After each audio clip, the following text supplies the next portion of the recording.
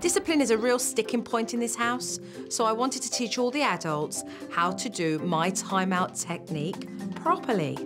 You're going to do one minute per year of their age. You're going to walk away. If they get up, you'll place them back without any communication. You'll set the timer again. And when they've done their time, you'll come back and you'll explain for a second time. And they'll apologise sincerely. I sent Grandma and Grandpa away for a couple of hours because I know this much. Mum needs to get a handle on disciplining her own boys. Wait. I'm clear again. I already gave you a warning. I'm. Stop it. No. No. I put you in timeout Cause blah blah blah. because you're using bad words. Words. You're calling names that's not okay. Take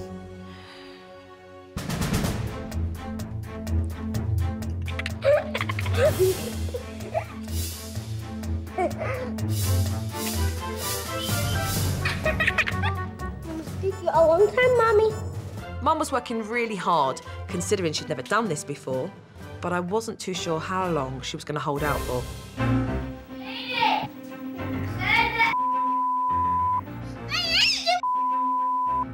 This is what you're going to say to him, all right?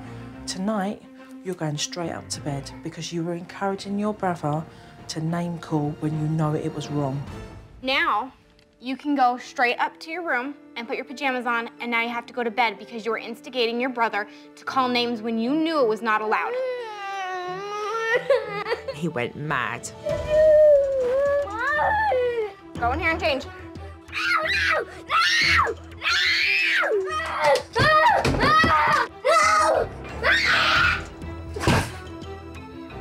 Jordan poured water on the floor, and that was the breaking point for Mum.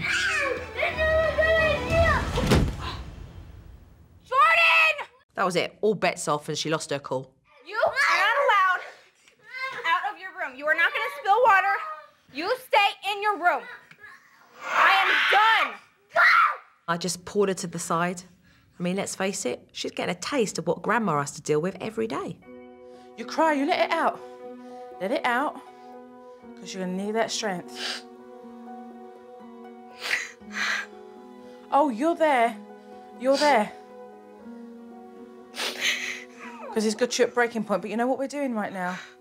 We're coming in here because we're just calming down and we're doing the mature thing. And the mature thing is, is to walk away when you see him fired up and angry. Because this child needs to be with someone who can give him authority, and that someone is his mother. Fortunately, after this whole drama of discipline and Mum being totally exhausted, Jordan had fallen asleep. Well done. Now that Kristen knows how difficult it is to discipline her boys, I hope she's going to give Grandma a break and step up.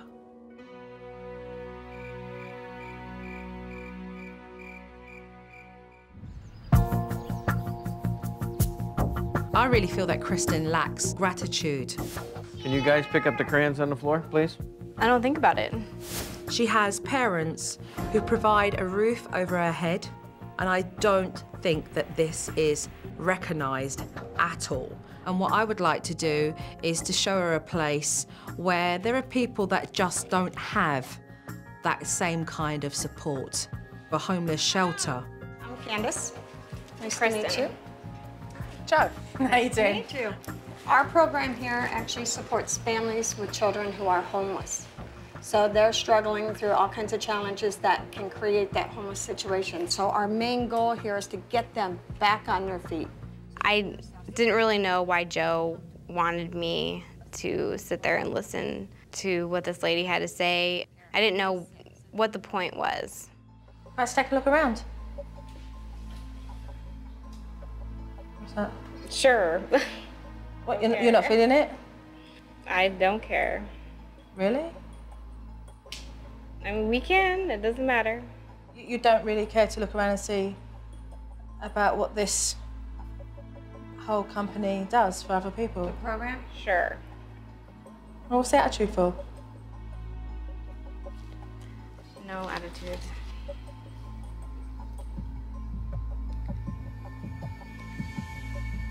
It truly is an amazing program. It gives these families an opportunity for a life that they weren't going to have before. Kristen is texting on her phone. It just appalled me. I was disgusted and highly embarrassed of her behaviour. And so I wanted us to walk around the whole of that homeless shelter so that perhaps what she was seeing may sink in. We don't want the children and the families to feel like they're just a number in a program. We want them to feel part of a community. This is an old hotel.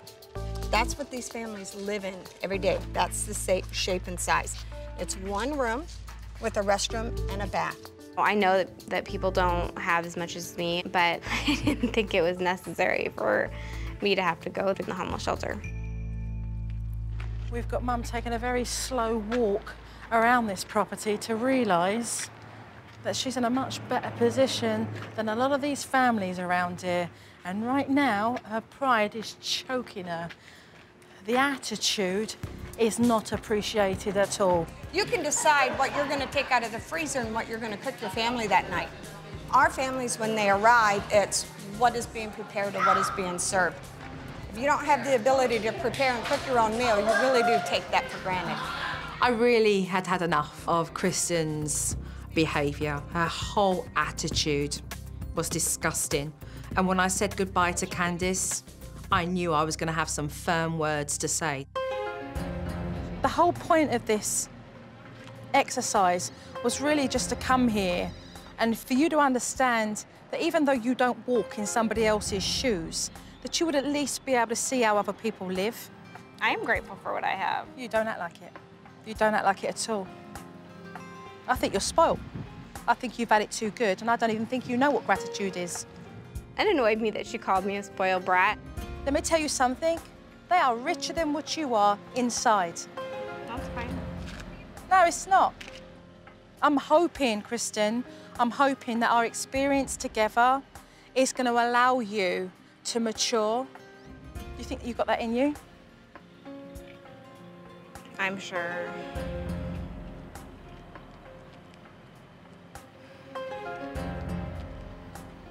It's yet to be seen. I'll see you at home.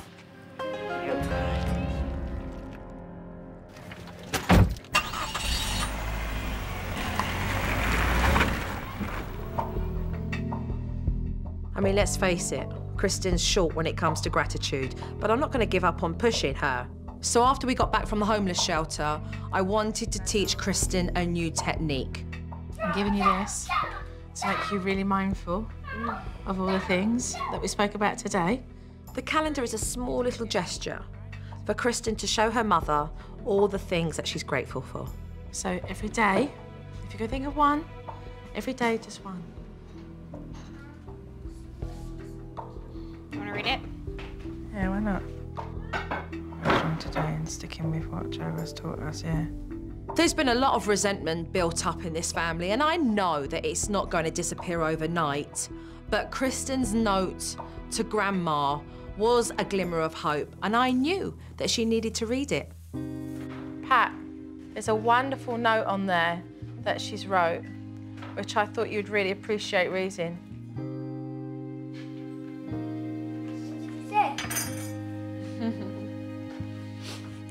Can you read it?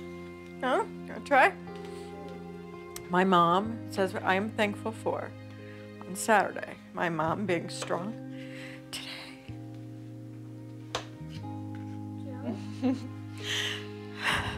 and sticking with what Jo has taught us. It made me cry. Still makes me cry. Just to hear that Kristen is uh, aware and is thankful. She hasn't been in the past.